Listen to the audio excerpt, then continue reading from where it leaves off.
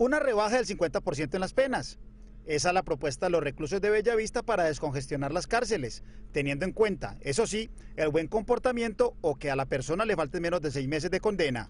Para ver si así, con ese proyecto que nosotros tenemos, logramos una descongestión, especialmente aquí en la cárcel de Bellavista.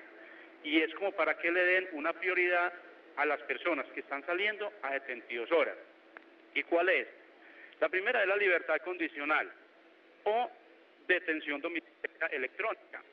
Hay personas que llevan mucho tiempo pagando una condena, pero que llevan muchas, muchas salidas de 72. No recibir el desayuno fue la primera protesta en Bellavista contra el hacinamiento y la mala atención en salud, que según organizaciones defensoras de derechos humanos deja siete reclusos muertos en penales de Antioquia en lo que va del año.